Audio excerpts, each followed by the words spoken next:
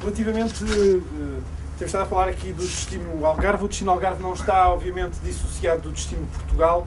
Uh, e. Uh, de alguma forma, este, este posicionamento, já há dois anos, esta parte de Portugal, West Coast, eu não sei qual deveria ser. Uh, West Coast, uh, West Europe, bem trabalhado em alguns mercados se calhar funciona bem eu acho que eu acho e já já tive a oportunidade de fazer esse comentário uh, eu acho que se calhar deveríamos ter um, um, lema se calhar um bocadinho diferente por mercado. Há mercados em que, em que nós estamos, onde temos alguma penetração e há alguns mercados em que somos completamente eh, despercebidos a nível do, do, do grande público.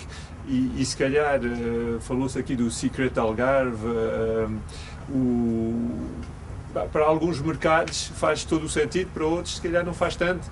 Eu acho que a gente deve olhar exatamente para os, para os, para os mercados eh, onde queremos penetrar e ver o que é que se adapta melhor esses mercados. Ah, um mercado como a França, por exemplo, não, não olha para o Algarve tanto neste momento. Para já, o Algarve é praticamente desconhecido lá. Uh, e depois, quando olha para cá ou quando alguém ouviu falar, pensa logo em mass tourism. E, o mercado de francês é um mercado um bocadinho peculiar. O mass tourism não vai para 5 estrelas, eh, vai para 3 ou para 4. Quem vai para 5 está à procura de experiências completamente diferentes. Está é o autêntico. É, exatamente. O francês gosta muito. O mercado francês Marrakech era muito interessante que, viesse, que, que, pudesse vir para cá. Esse mercado francês. Sim, mas se esse, esse, esse mercado se vinha para cá, não frequentaria ali os nossos hotéis, frequentaria as pousadas de Portugal. Também. Também mas também alguns dos olha, Sim, alguns de nós, mas realmente seria, seria mais virado para responder ao que está a dizer. Eu acho que é um, era um mercado mais era, cultural. Era bom era nós trazermos uma organização como o PIA, Pure Life Experiences, que fez a conferência o ano passado em Marrakech e vai fazer este ano, Sim. para convidar essas pessoas todas a vir a Portugal. construído. Mas eu acho. Mas sem querer, sem querer fazer ali, uh, durar a, a, a, nossa, a nossa reunião assim, uh, à volta sobre essa sobre esse tema, mas uh, uh, destino, eu estou confuso na minha cabeça porque quando se fala realmente de, de, do Algarve para o mercado português, nós não podemos ter esse tipo de linguagem que nós temos atualmente. Vamos ter uma, exatamente essa linguagem de West Coast, de modernismo, de, de coisas novas, de coisas assim importadas, de coisas assim que estão ali, aqui dão à vista, as coisas, quer dizer, as pessoas que os portugueses que querem vir para cá não querem ver, não querem ver azulejos assim e, e, e coisas assim, eles não querem isto não é, não é, não é, não é a cultura. Pelo menos é isto. Mas eu não quero, eu não quero trazer a bola agora, porque quem sou eu para dizer aquilo? Mas a minha impressão é que eu acho que, sinceramente, de novo, são segmentos, não é? Uhum. Um segmento internacional procura essa originalidade. Eu acho que elas aí existem, tem que ser melhorada, tem que ser. Temos... Mas, não é, mas não é comunicada lá fora. Seja, acha que então que esta campanha West Coast funciona melhor cá dentro do que lá fora? Ah, com certeza, ela tem. Mas ela não pode, de qualquer forma, ser totalmente. Há, há países que realmente, porque talvez para uma clientela mais jovem, há, há realmente essa ideia ali, quer dizer, de, de uma Europa West Coast, faz até, quer dizer, faz até sentido, quer dizer, uhum. penso que não tem... Eu ia dizer algo também... É, né? é, é, é moderno, quer dizer, é moderno, é, jovem, é, é, apelativa, mas não tira uma, não tira outra. Uhum.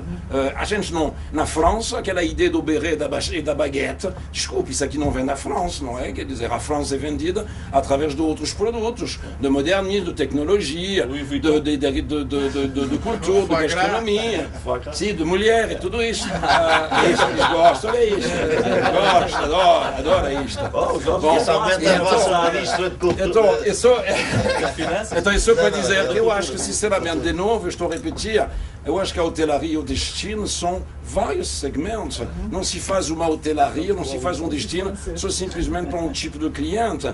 Eu acho que o destino turístico, o Algarve, tem que ser visto broad, large band, que eles têm que ser vistos de uma forma que tem que realmente haver pouquinho de tudo. Tem que haver esse turismo de, esse turismo de pousada, tem que haver esse turismo de moderno, tem que haver esse turismo de Marrakech. Porque Marrakech, estou falando de Marrakech. Marrakech é o perfeito exemplo. Mas lá Marrakech não tem hotéis iguais aos nossos. São todos ali Marrakech, style. Todos eles. E são cinco estrelas, mas são Marrakech style. É isso que o cliente vai buscar. Um tipo de clientela. E talvez esse tipo de clientela vai querer entrar também num outro hotel ali ao lado, que vai ser feito ali pelo, pelo Pierre Cardin ou, naquela altura, mas ou para outro, o Armani, porque vai ser aquela coisa. Eu sou local, eu preciso de me expor a uma, a uma, uma imagem fora do, que me posicione dentro do meu país. É então temos que separar as coisas. O posicionamento da nossa clientela ela é feito de, de parâmetros, de parâmetros diferentes. Uhum. O turismo é uma coisa, o posicionamento social é outra. Tudo isso merece ali, quer dizer, de seccionar ali. Eu preciso de, quer dizer, no Lake, eu preciso da minha clientela portuguesa que está à procura de um produto sofisticado. E eu preciso também do meu do tour operadores que enche o meu hotel que eles no período do ano. E tudo isso tem que isto é, aquela aquela aquela ginástica muito complicada que nós temos que fazer todos porque temos elementos exteriores agora que tem a ver, e não vamos entrar nisto também, que tem a ver mesmo com infraestruturas, uh, uh, coisas assim que estão a ver ali com, com uh, quem assina os projetos, porque temos tantos hotéis, porque não tem. Tudo isso aí já é outro problema. Em relação à questão do West Coast, eu sou, sou favorável a ela. Essa, essa campanha é uma campanha muito mais para o país, para a imagem do país, do que uma campanha meramente turística, certo? E essa é logo a primeira distinção que tem que ser feita. e ela tentou tentou posicionar o país de outra forma, com outros valores, com os, os principais players de, do país, desde a Marisa ao Mourinho, não sei quantos, uh, e tentou ir buscar cores que hoje em dia, e até a própria marca West, uh, cores, marcas, nomes que tenham conotações positivas nos consumidores. E isso foi, foi conseguido. Depois acabou por ser misturado de uma série de, de, formas e, mais uma vez, prevaleceu a nossa cultura maldicente e caímos todos em cima da, da, da, da marca, da West Coast, etc. Eu acho que, em termos de arquitetura de marca para o país, fez sentido. O país investiu de uma forma coerente com técnicos de renome, com o Phil Knight como, como top photographer e fez o que tinha realmente que ser feito. Dentro disso, depois existem submarcas lançadas para a parte da, da, indústria, outras para a parte do turismo, onde nós, acho que sinceramente, estamos francamente bem. Porque exatamente por sermos um destino que está numa fase, vá lá, de, de maturação e que precisa de se reinventar em termos de, de, turismo, nós temos vindo a fazer excelentes investimentos com os poucos recursos financeiros que temos. O país também não é rico e tem capacidade limitada e nós anualmente temos sempre essas, essas, vá lá, esses, esses despertares, esses wake-up calls, cada vez temos que aprovar, por exemplo, ao nível regional, os orçamentos da Associação Turismo do Algarve, etc. Mas tem-se vindo a fazer ao longo dos últimos anos, exatamente por, por estarmos a, a concorrer com tubarões, temos vindo a fazer bem, precisamos, por exemplo, a França, em termos de marketing internacional, praticamente não tem que se preocupar, porque a França é um, é um país que se, que, que se, vende sozinho, está praticamente no centro do mundo civilizado. Ricos, tem, Exatamente, tem, tem, tem uma oferta estruturada, pronto, está lá, não tem que se chatear muito. Exatamente, não tem que se chatear, mas, a, mas, a, mas a Itália tem sofrido bastante nos últimos 10 anos. Um, como a Turquia, a Turquia também tem sofrido bastante nos últimos 10 anos. Atenção, nós quando falamos de Turquia, aquilo não é assim uma coisa também por aí adiante. Em termos do Algarve, Uh, Lembro-me bem da campanha que a ATA lançou aqui há uns anos atrás. Deixou, já começou a comunicar com base nos novos apelos, exatamente, dos consumidores, já não com base na ótica no, do produto, mas na ótica dos benefícios que o produto uh, transfere para o cliente e lançou a campanha do Energize. Agora lançou a campanha do, do segredo mais famoso da Europa.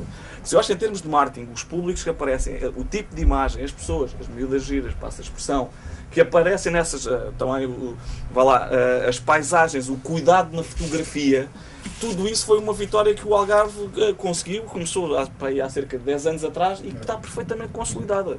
Agora, o que realmente faz falta é capacidade para dispersar em escala essa imagem. E nós temos um orçamento de promoção que anda ali na casa dos 5, 6 milhões de euros por ano, se a memória não me falha. E com 5, 6 milhões de euros para chegar à Inglaterra, à Alemanha, que são os principais feeder markets, é lógico que nós vamos ter sempre dificuldade em cobrir a mancha toda. Não é? E depois, às vezes, Até comparamos. Neste momento, estamos a, a comunicar para o consumidor final. Tal e qual. Que é uma coisa cada vez mais conhecida ainda, é. porque ainda Sim. é necessário. E depois comparamos, por exemplo, com a Espanha. A Espanha é o segundo maior destino turístico do mundo. Não é? Por isso, nós, de repente, não, não estamos aqui a comparar, por exemplo, equipas como o Sporting com o Manchester United. Uh, não, não, pode ser. Não é? temos de ter. O Benfica, ou o Benfica com o Chelsea. Uh, temos de ter aqui uma noção da escala e para os recursos que nós efetivamente conseguimos afetar estas ações, eu acho que nós estamos francamente bem. E agora é continuar a investir no mesmo caminho. Agora, eu penso que o, o trilho está bem definido é? e os players sabem exatamente para que lado é que o destino está.